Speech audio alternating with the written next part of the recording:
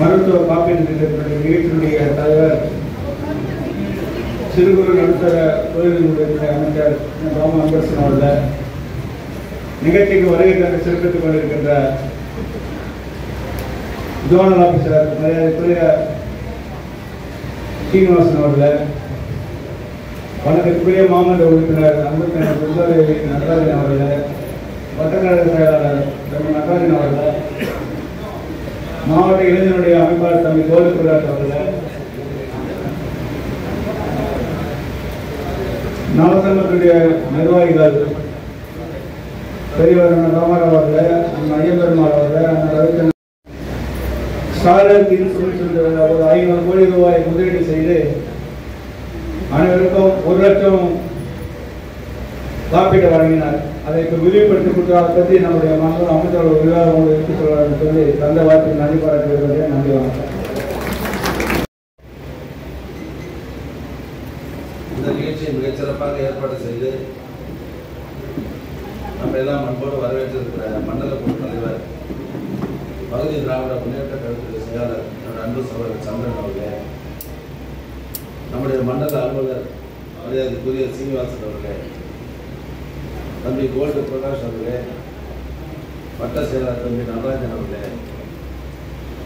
நம்முடைய நலச்சங்கத்தினுடைய கூட்டமைப்பினுடைய நிர்வாகிகள் அண்ணன் சந்திரபோஸ் அவர்களே குமரவேல் அவர்களே அண்ணன் ராமராவ் அவர்களே ரவீந்திரன் அவர்களே நாராயணன் அவர்களே முத்தமிழர் டாக்டர் கலைஞர் அவர்கள் தமிழ்நாட்டில் இந்த கலைஞர் காப்பீடு திட்டத்தை கொண்டு வந்தது திமுக ஆட்சியில் கலைஞர் ஆட்சியில் தான் எல்லாம் தெரியும். எந்த நோக்கத்திற்காக இந்த திட்டம் தொடங்கப்பட்டது என்று சொன்னால் தமிழ்நாட்டில் இருக்கிற ஏழை எளிய மக்கள் உயர் சிகிச்சை பெறுவதற்காக கொண்டு வரப்பட்ட திட்டம் தான் இந்த திட்டம் வசதியாக இருக்கிறவங்க பெரிய பணக்காரர் இருக்கிறவங்க திடீர்னு ஒரு ஹார்ட் அட்டாக் வந்துச்சு. இல்லை பெரிய கிட்னி ப்ராப்ளம் கிட்னி மாற்றுவது. இது மாதிரி பெரிய நோய் வருகிற போது அவங்க நிம்மதியாக பெரிய பெரிய ஹாஸ்பிட்டலில் போயிட்டு சேர்ந்து ஜம்முன்னு பணம் இருக்கிறதுனால வந்துடுவாங்க சிகிச்சை பெற்று வந்துடுவாங்க ஆனால் சாதாரணமான எவ்வளோ ஏழைகள் இருக்கிறாங்களே கூலி தொழிலாளர்கள் ஆட்டோ ஓட்டுநர்கள் பிடித்திருக்கிறது ஒரு பதினஞ்சாயிரம் நேரம் சம்பளம் போக முடியுமா?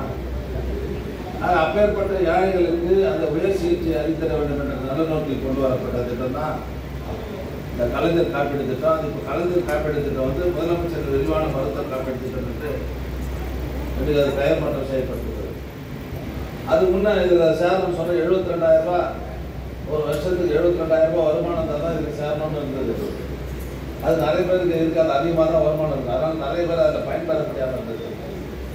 அதை விட இப்போது நம்முடைய மாண்பு தமிழ்நாடு முதலமைச்சர் அவர்கள் நிறைய அந்த குடும்பங்கள் அதை பயன்பெற முடியலன்றதுனால அந்த வருமானத்தை ஒரு ஆண்டுக்கு ஒரு லட்சத்தி இருபதாயிரமாக உயர்த்தி அனைவரும் பயன்பெறக்கூடிய அளவுக்கு இந்த திட்டத்தை விரிவாக்கம் செய்தவர் நம்முடைய முதல்வர் அவர்கள் என்பதை இந்த நிகழ்ச்சியில் நான் பெருமையோடு சொல்லிக்கொள்ள கடமைப்பட்டிருக்கிறேன்.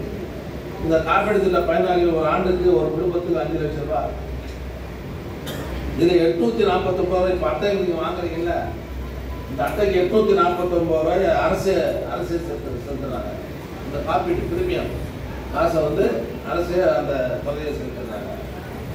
நம்முடைய அரசு பொறுப்பேற்ற இந்த இந்த மூன்று வருஷத்தில் தமிழ்நாடு முழுவதும் சிறப்பு முகாம்கள் நடத்தி அதான் நிறைய பேருக்கு இந்த விஷயம் தெரியாது.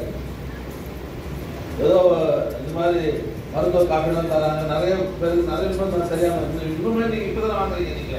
இன்னும் தெரியாம தான் இருக்கிறீங்க நடராஜன் மாதிரி ஆட்கள் நம்ம ச- மாதிரி ஆட்கள்லாம் இப்ப நாங்க என்ன பண்ணிட்டோம்? வார்டு வார்டா இது போன்ற சிறப்பு முகாம்களை நடத்தி யார் யாருக்கெல்லாம் அந்த காப்பீடு அட்டை இல்லையோ அவர்களெல்லாம் தர வேண்டும் என்று உத்தரவுப்பட்டு நம்முடைய இதுல மட்டும் தொண்ணூத்தி ஒன்பதாயிரத்தி முன்னூத்தி தொண்ணூத்தி ஐந்து புதிய பயனாளிகள் சேர்க்கப்பட்டது இந்த முகாம்கள் நாங்கள் நடத்தி இப்போ நம்ம இப்போ நானூறு பேர் நானூற்றி ஐம்பது பேர் இப்போ கொடுக்குறோம். அறுநூறு பேருக்கு ரெடியாக இருக்குது. அது வந்துச்சு ரொம்ப சிரமப்படுறவங்களாம் இது பெரிய பாதுகாப்பாக இருக்குன்னு தெரிய சந்தர்ப்பமில்லை ஆக வருகை தந்திர உங்களையும் நான் வாழ்த்தி இந்த நிகழ்ச்சியை மிக சிறப்பாக அமைத்து தந்திருக்கிற என்னுடைய அன்பு தம்பி நடராஜன் நம்முடைய ஜோன் சேர்மன் நம்முடைய சந்திரன் அவர் உறுதுணையாக இருந்த என்னுடைய இயக்கத் அனைவருக்கும் என்னுடைய நன்றி வாழ்த்துக்களை சொல்லி விடைபெறுகிறேன் நன்றி வணக்கம்.